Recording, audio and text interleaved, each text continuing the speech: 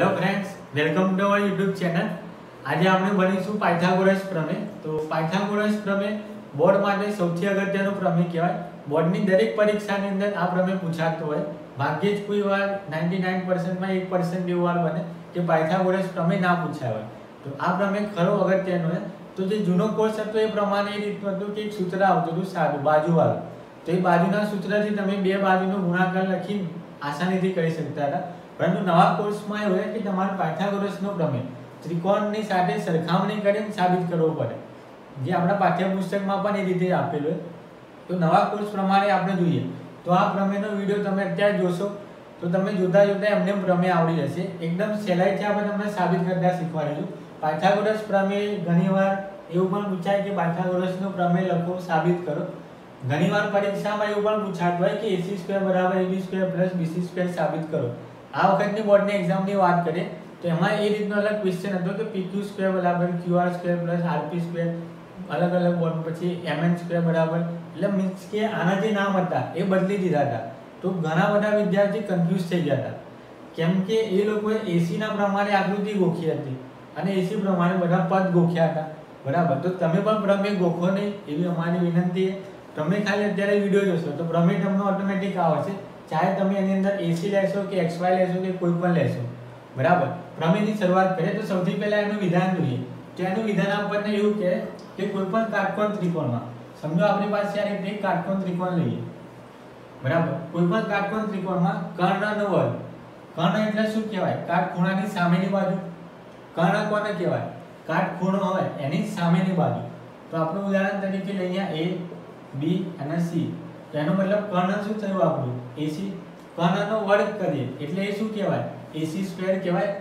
શું કહેવાય? એસી સ્ક્વેર કર્ણનો વર્ગ એ કોના બરાબર હોય? કર્ણનો વર્ગ એ બાકીની બે બાજુના. બાકીની બે બાજુ કઈ થઈ? એબી અને બીસી એબી અને બીસી એના વર્ગના સરવાળા બરાબર હોય. એબી નો વર્ગ કરીએ તો શું લખાય? એબી સ્ક્વેર બીસી નો વર્ગ કરીએ તો શું લખાય? બીસી સ્ક્વેર પરંતુ એ બંનેના વર્ગ જેટલી હોય એવું નહીં. કર્ણનો વર્ગ એ બાકીની બે બાજુના વર્ગના સરવાળા બરાબર હોય. એનો મતલબ શું થાય કે આપણે એસી સ્ક્વેર તો લખ્યું, કર્ણનો વર્ગ. પરંતુ સાથે AB square plus BC square લખવું પડે, એટલે એનો સરવાળા બરાબર થાય. તો આ હતું એનું વિધાન. હવે આપણે પાઠ્યપુસ્તક પ્રમાણે આકૃતિ લઈએ તો શું તમને થોડું પણ કન્ફ્યુઝન ના થાય. આ રીતે આકૃતિ લઈશું તો તમને કન્ફ્યુઝ થઈ જશો કે અમારે ચોપડીમાં અલગ આપીએ, છડે અલગ કરાય. બરાબર. એ રીતે જ કરાય. સેમ મેથડ તો સમજો, આપણે આ રીતે આકૃતિ હતી. આપણે એને કન્વર્ટ કરી દઈએ. છે જ આપણે નામ ક્રોસ કરી દઈએ, જમણી બાજુ.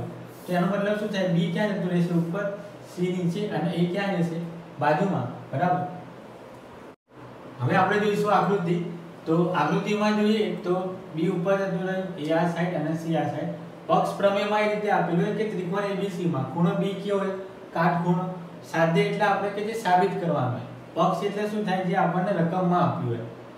સાધ્ય એટલે આપણે શું કરીશું? એને સાબિત. સાબિત શું કરવાનું આપણે? એસી સ્ક્વેર બરાબર AB square plus BC square. આ વસ્તુ આપણે શું કરીશું? સાબિત કરીશું.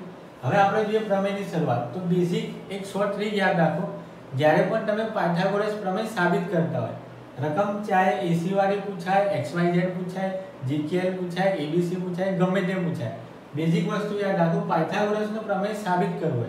તો એક આયત તો તમારો જે ત્રિકોણ દોરેલો હોય, એમાંથી પહેલા એક નાનો ત્રિકોણ લેવાનો, એની સાથે મોટા ત્રિકોણની સરખામણી કરવાની એકરૂપતા બતાવવાની. શું કરવાનું? પહેલા એક નાનો ત્રિકોણ, પછી એની સાથે સરખામણી કરવાની, આખા ત્રિકોણની. અને એના ઉપરથી એક સમીકરણ બનશે, પછી બીજું સમીકરણ છે એના ઉપરથી. તો આપણો બીજો એક નાનો ત્રિકોણ, એની સાથે હજી એક મોટો ત્રિકોણ. એટલે ફરીથી મોટા ત્રિકોણની સરખામણી કરવાની. શોર્ટમાં કહીએ, તો પહેલા નાનો ત્રિકોણ, એની સરખામણી આખા ત્રિકોણ સાથે પછી આ બીજો નાનો ત્રિકોણ, એની સરખામણી આખા ત્રિકોણ સાથે. એમ કરીને બંને સમીકરણનો સરવાળો કરો, તો પાયથાગોરસ પ્રમેય તમને યાદ રહી જાય, આવડી પણ જાય. પ્રેક્ટિકલી કરી જોઈએ કે કઈ રીતે કરવાનું, જેમ કે આપણે વાત કરીએ નાના ત્રિકોણની. તો આયરો ત્રિકોણ આપણે તમને સમજૂતી માટે અહીંયા અલગ કરીએ. તો આ ત્રિકોણ કંઈક આ રીતે બની જાય.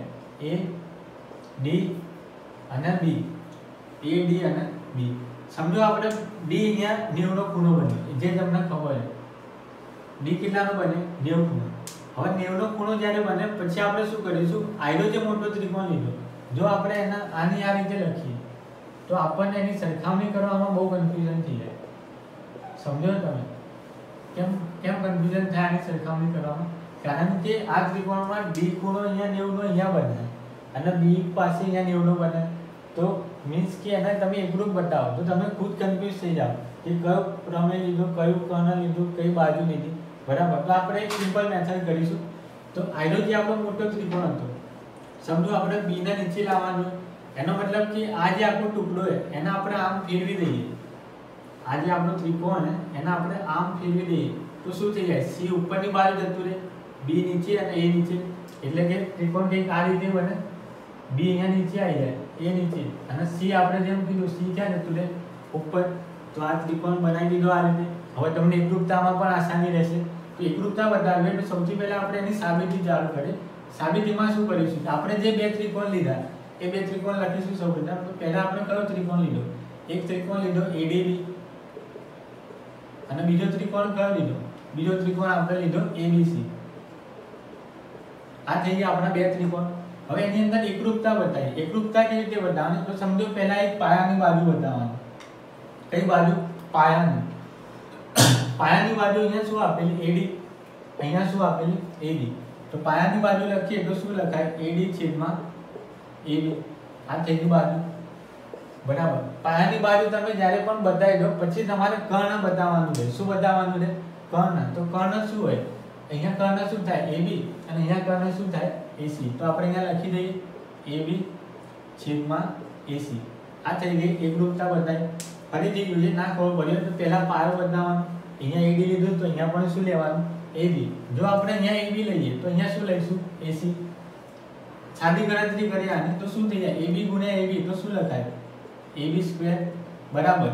એસી ગુણ્યા એડી થઈ જાય અહીંયા. એડી ગુણ્યા એસી આના આપીશું આપણે સમીકરણ નંબર એક. કયું સમીકરણ આપીશું? સમીકરણ નંબર એક. બરાબર.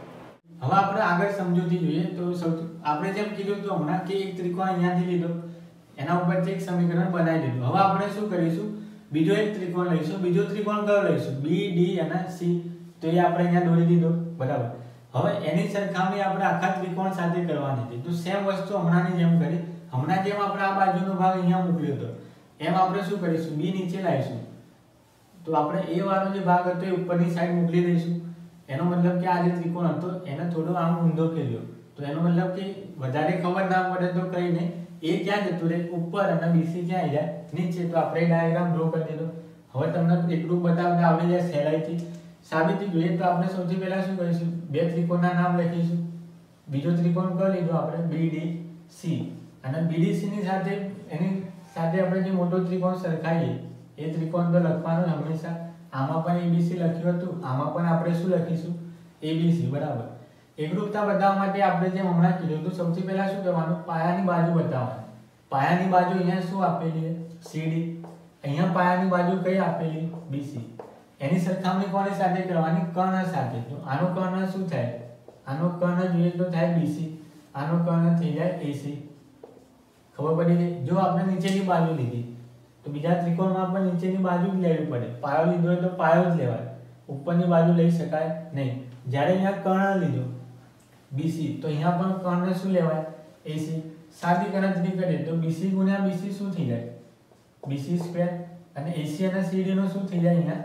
ગુણાકાર. તો સીડી ગુણ્યા એસી તો આ આપણને મળ્યું સમીકરણ નંબર બે. તો આવી રીતે આપણને બંને સમીકરણ મળી ગયા. સમીકરણ કેવી રીતે મળ્યા? ખ્યાલ આવી ગયો. એક નાનો ત્રિકોણ, એક સમીકરણ, બીજો ત્રિકોણ, બીજું સમીકરણ. હવે આપણે શું કરીશું? આ બંને સમીકરણનો સરવાળો કરીશું. સરવાળો એટલે શું કહેવાય? AB square plus BC square કહેવાય. બંને સમીકરણનો આપણે શું કરીશું? સરવાળો. AB square plus BC square AB સ્ક્વેરની કિંમત કેટલી હતી આપણી પાસે? એડી ગુણ્યા એસી પ્લસ અહીંયા પણ આ- આની જે કિંમત આપી લખી દઈશું. સીડી ગુણ્યા એસી બરાબર. બંનેની અંદર એસી કોમન આવે. તો આપણે એસી બહાર લખી દઈએ એક વખત. તો અંદર શું વધ્યું ખાલી? એડી પ્લસ હતું તો પ્લસ સીડી ખબર પડી ગઈ? હવે આ એક સમજૂતી વાળી વાત જુઓ. એડી પ્લસ સીડી કરીએ આપણે. શું કરીએ? એડી પ્લસ સીડી તો કોમન સેન્સની વસ્તુ જો આપણે અડધું અને બીજું અડધું ભેગું કરીએ તો એક આખું બની જાય. એડી અને સીડી ને ભેગું કરીએ તો આખું એસી મળી જાય કે નહીં? તો આના બરાબર શું લખાય? એસી લખાય કે નહીં? તો એસી કૌંસમાં શું લખાય? એસી તો એનો શું થયો? એસી ગુણ્યા એસી શું કહેવાય? એસી સ્ક્વેર કહેવાય. અહીંયા તો બધું એસી થી તો આ નીચે લખીએ અહીંયા આપણે એમ શું લખાય? AB square plus BC square બરાબર શું સાબિત થઈ ગયું? એસી સ્ક્વેર તો આ થઈ ગયું આપણો પાયથાગોરસનો પ્રમેય. તો આ રીતે પાયથાગોરસ પ્રમેય સહેલાઈથી સાબિત કરાય. તો તમે જો આ રીતે પ્રમેય સાબિત કરો, તો ચાહે પરીક્ષામાં પીક્યુ પૂછાય એક્સ વાય ઝેડ પૂછાય કે ગમે તે પૂછાય.